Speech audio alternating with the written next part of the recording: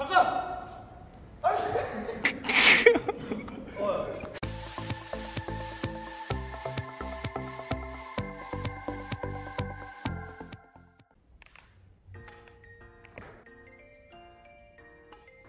자, 기본적으로 이제 서버 그리고 받는 사람이 리시버면 서버와 리시버가 모두 준비가 된 상황에서 서비스가 시작돼야 됩니다. 이 서버를 넣는 사람은 서버를 받는 리시버가 준비가 됐는지를 반드시 확인하고 넣어야 돼요.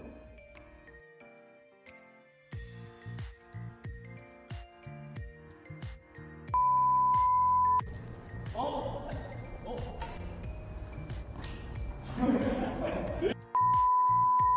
자, 요거 애매한 경우인데요.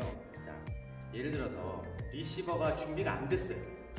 그래서 제가 서브를 했습니다. 그럼 상대편에서 어, 준비 안 됐으니까 다시 누르라고 하겠죠.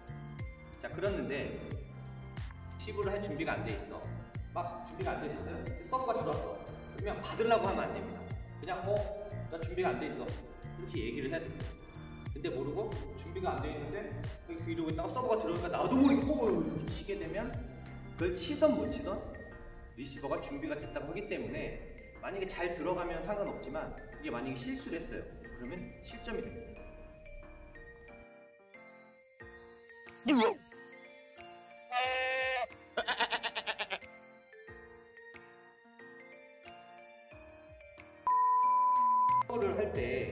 서비스 라인이 있어요.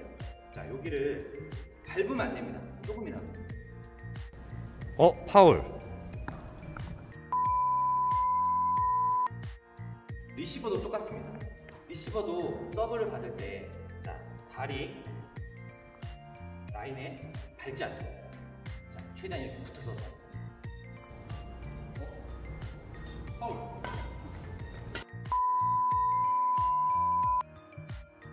서버가, 자, 라켓을 이렇게 준비하고, 라켓이 뒤로 갔다가 치려고 할 거 아니에요? 자, 뒤로 갔다가 앞으로 나가려는 순간, 그 누구도 방해를 하면 안 돼요. 자 잠깐!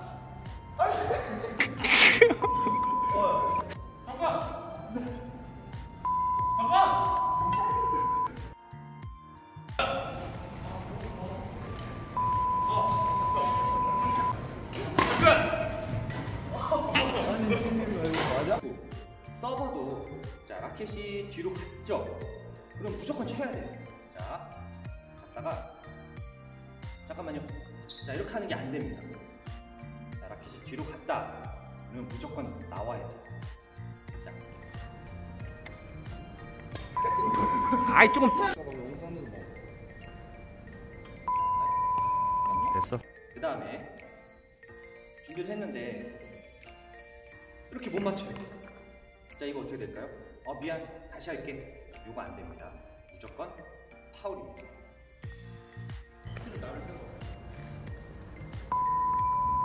오케이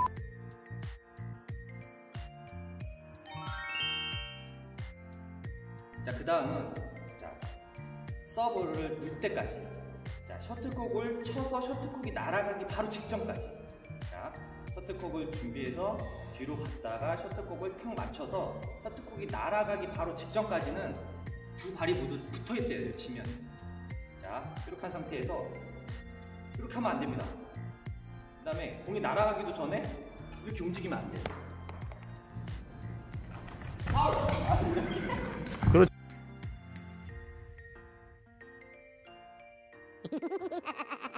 자, 그 다음에 여러분, 자, 셔틀콕을 칠 때 무조건 여기 코르크 부분, 여기부터 쳐야 됩니다. 자, 깃털을 먼저 치면 폴트예요. 파울입니다. 자, 그러려면 서브를 할 때, 자, 이렇게 안쪽으로 손을 이렇게 비트면 셔틀콕이 이렇게 나를 향해요. 그러면 코르크 부분부터 칠 수 있겠죠? 자,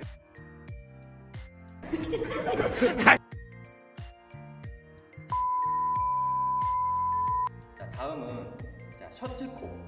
전체가 어디보다 밑에 있어야 된다. 자 고정 높이 제로 1.15m 밑에 있어야 된다. 아까 저는 자 배꼽 좀 위에 요 정도였어요. 저는 기억을 하죠. 자이 정도. 자 여기서 밑에서 해야 됩니다. 자 이렇게 하면 파울입니다.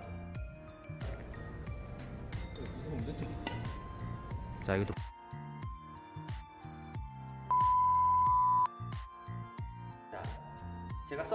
놓으면 상대편의 서비스 라인을 이 앞에 있는 이 라인을 넘어가야 됩니다.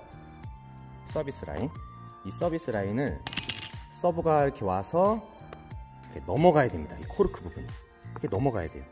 근데 만약에 이 코르크가 안 넘고 여기 맞는다. 그러면 이거는 실점을 하게 되는 거예요. 그런데 자, 요게 요 라인에 맞거나 라인에 조금이라도 이렇게 걸치면 다 인정이 됩니다.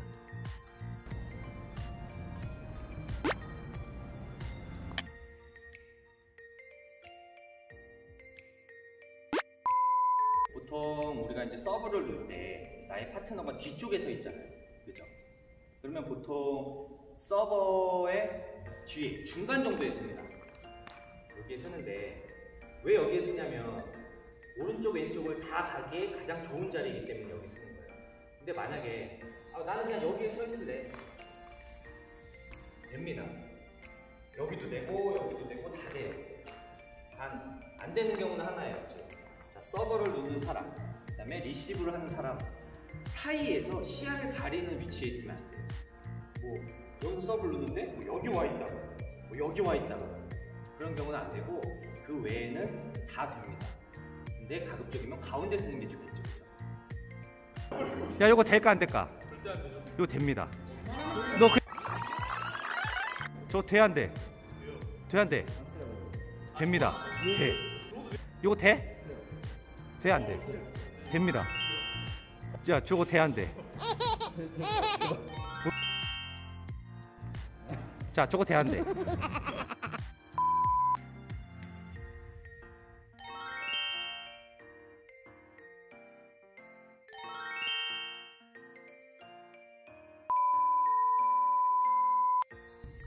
자, 지금까지가 자, 대한 배드민턴 협회에 나와 있는 배드민턴 규정에서 서비스 관련된 부분을 다 설명을 드린 거예요.